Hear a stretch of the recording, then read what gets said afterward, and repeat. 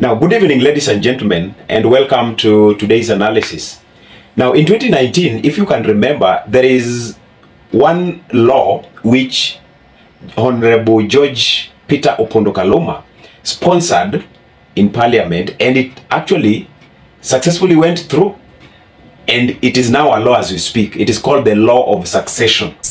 According to Kaluma, the bill seeks to amend Section 29 of Law of Succession 2019 to allow only spouses to get inheritance and not mistresses and slave queens whenever husband passes on. And that is why I'm also proposing amendment to the definition of spouse.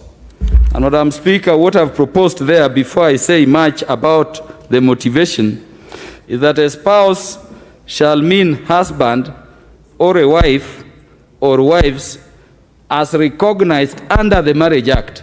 So this law is seeking to bar the slave queens and Mpango wa Kando from unprecedentedly ripping out of where they did not sow.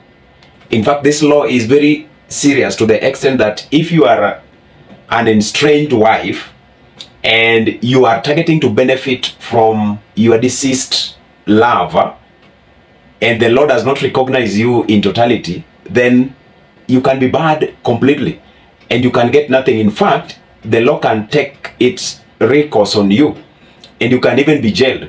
So Opondo Kaluma was very happy when that bill is sponsored went through and it became a law. If you are a woman who is involved in a relationship uh, and uh, you want to inherit the property of the man you are involved with uh, when he dies, then uh, it is high time you uh, moved to regularize and formalize that relationship into a marriage. If you do not do that, uh, then uh, now that we have this law, when the man dies, you stand uh, to get nothing from his estate. In 2019, Uhuru Kenyatta signed it into, into law. But now um, there is something that has come out which is actually a tragedy for this a man from Mumabe County. And they always say that if you find that the woman you are with is having a child and this child is not your child, then you can go into what they call a family depression because it will hit you with a tragedy of the highest order. You know, you become shocked, you become past shocked. This law that he actually sponsored its bill in 2019 is kind of related to what is happening to him right now. Because right now, there is this kind of very difficult situation he has found himself into where he has to meet the demands of his estranged lover. And the reason why I was doing this analysis is because of that law, actually, the succession law 2019. Because it, it, it was very serious and, you know, very many people celebrated it. By that time, that is the time when we had a lot of politicians facing issues to do with estranged love affairs, you know.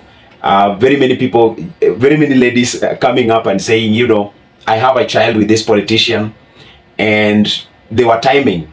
The moment a very, very key political figure dies, then that is the time we see ladies left, right, and center coming on board and saying, This was my man, and if I want to prove to you and you believe me, here is the child.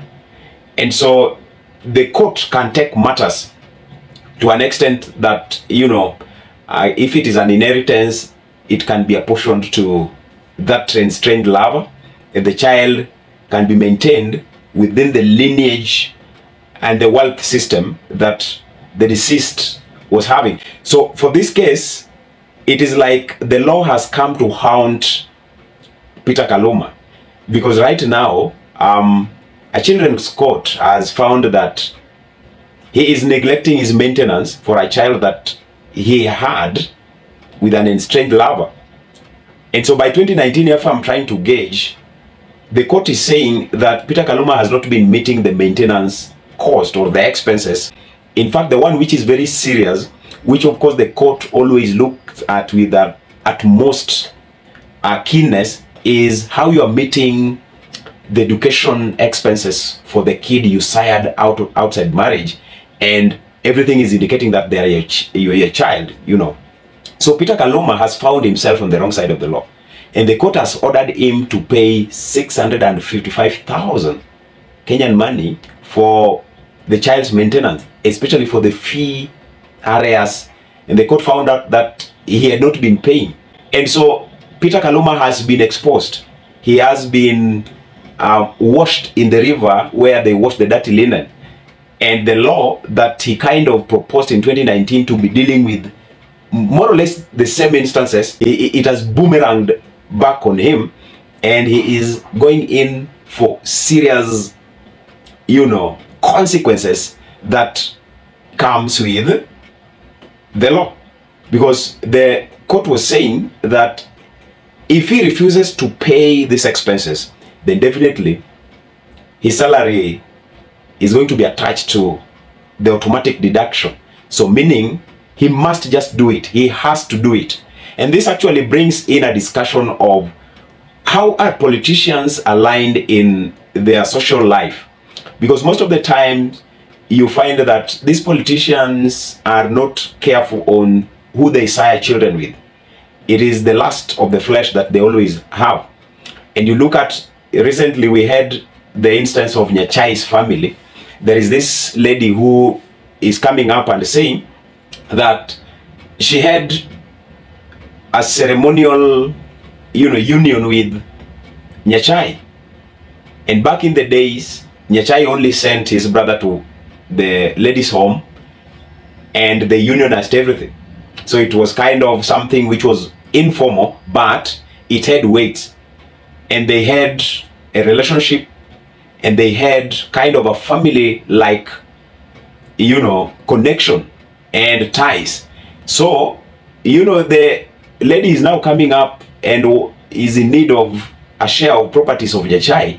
And it is so serious and it is taking a different twist altogether. So it, the, the same case is almost the same as what Kaluma is facing, but now, you know, this one has been segmented and is only on the line of, you know, Punda has to meet uh, the fees and the expenses that are pertaining to the child's education.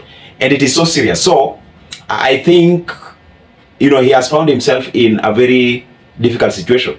And they always say that we have that kind of pain reliever, which is called Kaluma Pain Bar.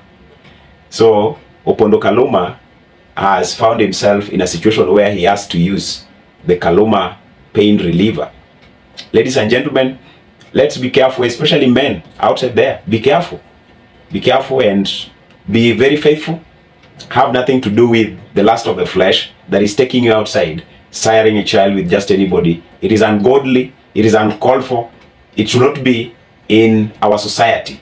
And we need to have a decent line of having our affairs and meeting the needs of our family going forward. Let me see you in the next analysis. May you have a great time.